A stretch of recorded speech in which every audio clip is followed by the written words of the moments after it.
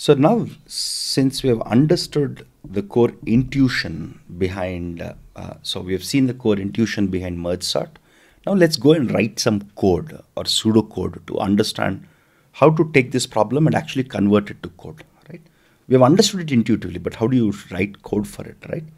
So again, we are using the, the pseudocode. We are using the pseudocode. We are using the pseudocode from CLRS textbook. As we have discussed uh, in the previous videos, we will be using this code because it's both rigorous, clean, and language independent, right? So, so we have we have two functions here. The first function is called a merge sort function, which has three parameters to the function or three inputs to the function. We have the array. So this is my actual array that we have, right? P is the index of the first element that I want to sort. So for example, if you take this array, right? What is the index of the first element I want to sort? 1 right? So P is equal to 1 in this when we start here, right? And R is basically this. So this is equal to R and the array that I want to pass to this function is array A, right? So, okay, so P is basically the index of the first element, the index of the first element that you want to sort, index of the first element, index of the, I'm writing element in short as ELT, first element that you want to sort and the last element last element index. This is the last element index right? So what would I pass initially? Initially I would say merge sort merge sort a 1 comma 8 for this. I'll try to connect the connect the code to this example. So I'll pass a 1 comma 8 right? That's what I would pass. Now as soon as you pass here first it checks if p is less than r right? So this is your P, this is your R, right? P is certainly less than R, right? If P is equal to R, what does it mean? If P, if P is equal to R, what does it mean? It means what you have passed to this function is basically, this implies that the array A, this implies that array A is of size 1, is, is, of, is of size 1, right? So unless the passed array, the array that you're passing is of size 1 or you have done some mistake for the values of p and r. See, p can never be less than r, right? That makes no sense. That means you've given the inputs wrong, right? As long as you give valid inputs, right? What is a valid input? a1 comma 1 is valid, right? Because your first element and the last element that you want to sort is the same. In such a case, this loop would not run if p equals to r. Only when p is less than r, this loop would run. Okay, so that's what it is. Now I'm computing Q. So what is Q here? In this case, my Q would be P plus R by 2. So this, this function that you see, this, this function that you see here is called the floor function, right? For example, if I have 8.2, what is floor of 8.2? It is the nearest integer that is smaller than 8. So this is equal to 8, right? What is floor of of course, which is less than 8 itself. What is floor of 8.9? Floor of 8.9 is also 8, right? Floor basically is the nearest integer that is less than the real value that you have passed here. So this is called the floor function. Whenever you see this, this is called the floor function. This is called the floor function. There is something called a ceil function also. Ceil function looks like this. So the ceil of any number, ceil of 8.2 or the ceiling of 8.2 is 9 right? It is the nearest integer which is greater than equal to this real value. That's what the ceil function does. So we are using the floor function because p plus r may not be exactly divisible by 2 right? So that, that's something that we have to keep in mind. Okay. So since we have understood what floor and ceil is and how floor and ceil are represented in this pseudocode right what becomes to your q? Your q equals to p plus r which is 1 plus 8 which is 9 by 2 right and floor of it. 9 by 2 floor is basically floor of point 4.5 which is equal to 4 right? So then it says see this is a recursion if you notice. So since all of you know some programming you must have seen recursion. We've seen recursion in the c uh, when we learned c programming language right? So it's very very simple right? In any programming language whether it's java or python you have the concept of recursion so what am I saying? Now I get this. I've computed q. Now I'm calling two other functions. I'm calling the merge sort function from within the merge sort function. So what does this merge sort function do now? It says first you sort. First you perform merge sort on the, the sub array. So you're given this array 1 to 8. You're given this array 1 to 8. So what we are saying here, we have called the merge sort on this array. So it says first you perform the merge sort on APQ, which means it says perform the merge sort on A1 to 4 first. A1 to 4 first, right? Because your Q equals to 4. And once you finish the merge sort on this, you also perform a merge sort on A5 to 8 because you see this Q plus 1 to R. This is the recursion here, right? And then once you perform, see, this will now break down. So the moment you call this merge sort, so what's happening here is, first you have this input, you call the merge sort on array 1 to 8. It would break the array into, it would call merge sort with 1 to 4 and 5 to 8. This would again, when you when you run merge sort on this, because this is not an array of size 1, look at this, this is not a, this is not an array of size 1. So it would again break this into array of 1 to 2 and 3 to 4. This would again break it into 1, 2, 3, 4. I'm writing the actual indices here. Right? Now you have only one array. Sorry, you have an array of size 1. Right? Then now what happens? Now this loop will not be executed. So you're basically what this recursion, what this recursion is enabling is breaking up your array into these smaller arrays until we have just arrays of size 1. That, that's what this recursion is exactly doing right? At the end, there is one more function. There is a different function here is called merge, right? What does this merge do now? Let's let's see the, let's see the pseudocode for merge. So in a nutshell, what this is doing is when you when you when you ask to merge sort an array from index p to r, it is literally calling recursively as long as the size of the array is not equal to one, right? It is basically breaking this array into two equal parts. It's basically breaking the array into two equal parts and again calling merge sort on top of it. It will keep doing it till the time you have only arrays of size 1 left. Right? That's that's what this recursion, that's what this do. This is basically the core of your recursion. This is basically the core of your recursion. Right? That's what that's what is happening here. But there is another function called merge. So this function merge, basically, this function merge starts merging. So you're doing the division operator or the divide operator using recursion.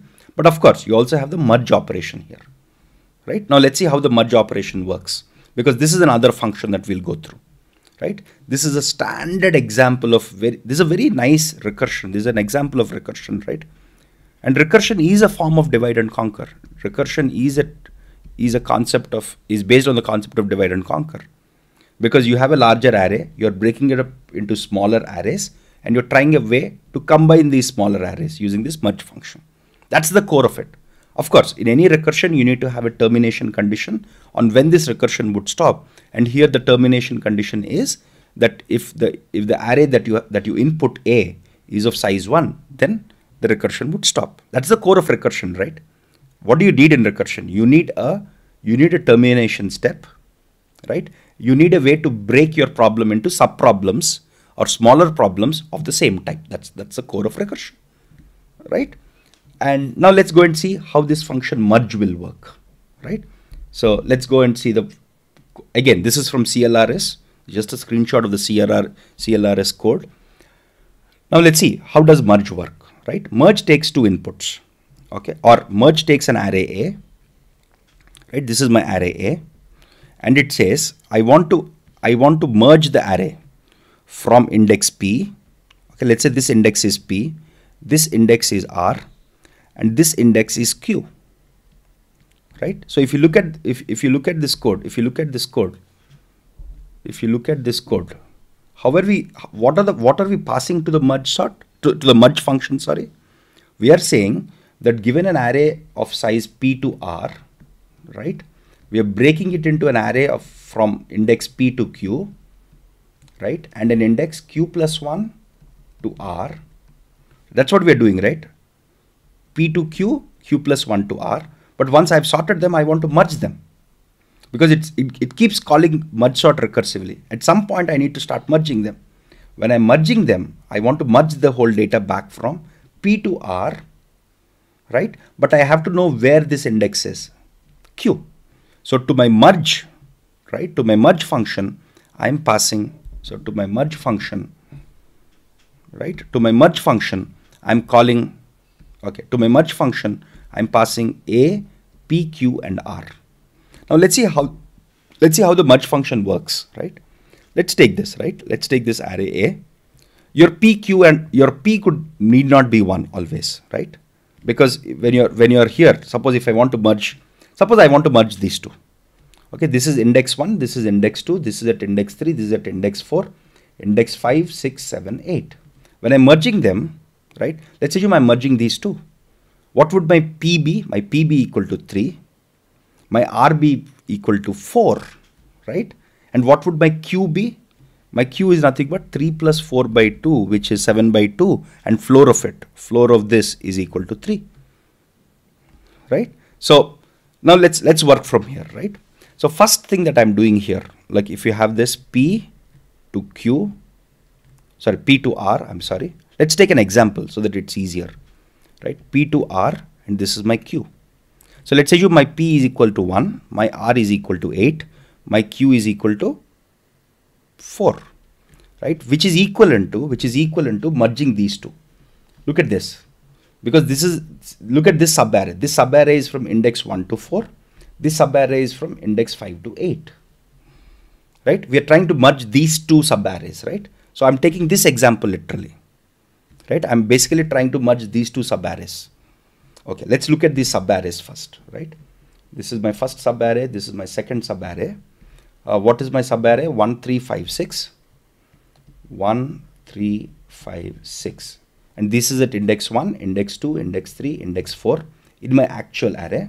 What about this? Uh, you have 2478 you have 2478 right? This is at index 5 6 7 8 now i want to merge both of them to do that what would i pass i would call the merge function with p equals to 1 r equals to 8 and q is equal to 4.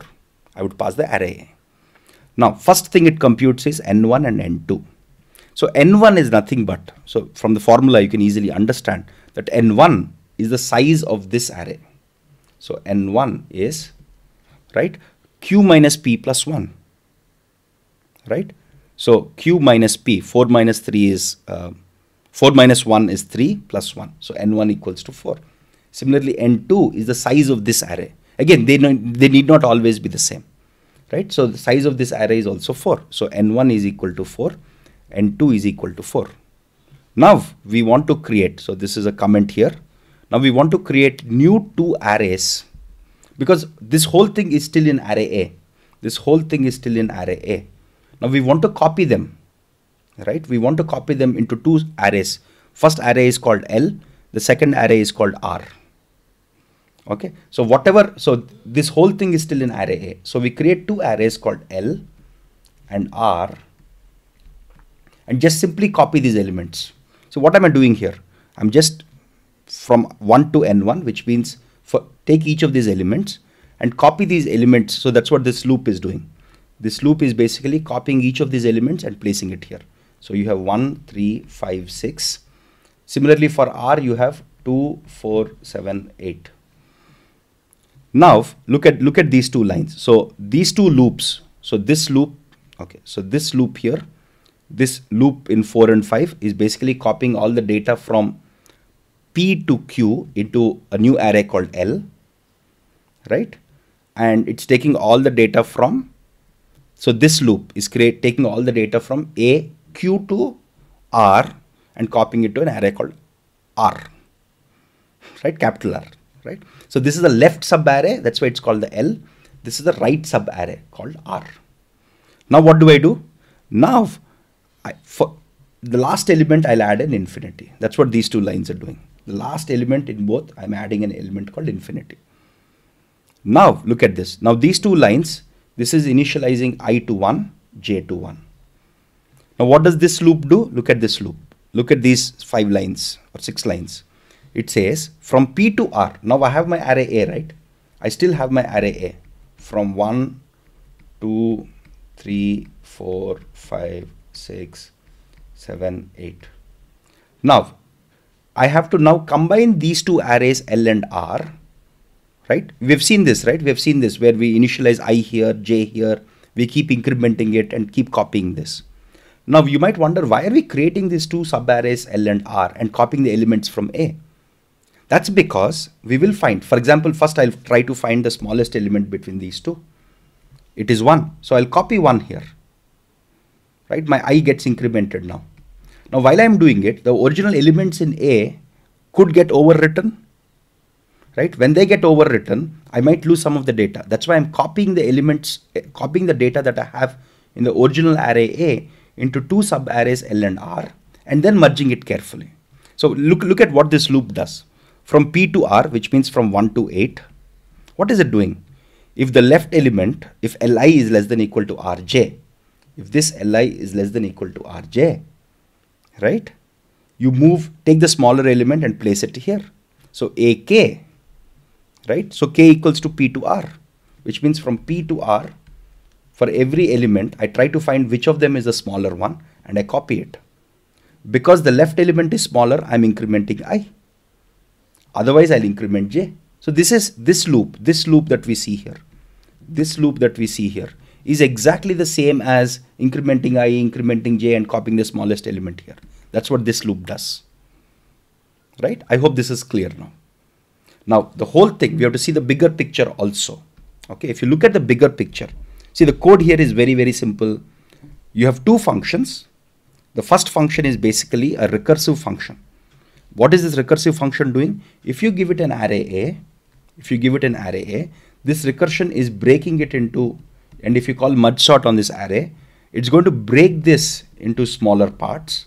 It's going to break this into smaller parts till the time you have arrays of only size 1.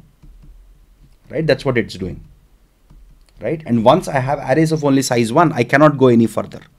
Then I would call the merge function. So I've broken it up enough.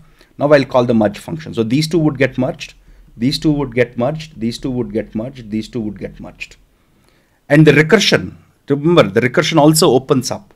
So these two would get combined. These two would get combined. Finally, these two would get combined to a big array. That's what is happening here in the recursion. So there are two functions here. Sort literally just a five line code which says you have a termination condition here and you're breaking it into merge sorts of same type. The most important function in whole of merge sort is the merge function. And what is this merge function doing literally? This merge function is basically copying the elements. Suppose if I have an array here, A, sorry, A, P, Q and R. It is basically copying these elements to a new array. It is also copying these elements to a new array.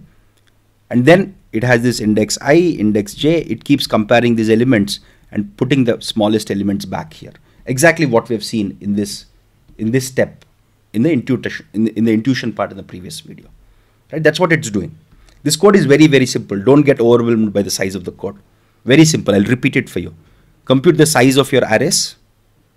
Then create left array and right array by just copying the elements right from a to p and q plus 1 to r. Just make the last elements infinity. Initialize your i and j to ones and in this loop you're basically literally picking up the smallest element between these two subarrays placing it in a and incrementing whichever is the whichever index corresponds to the smaller value. That's all you're doing here right? So there are two functions here not one function because it's a recursion function here right? We'll also understand how much time it takes all time complexity space complexity. We will see that in the next video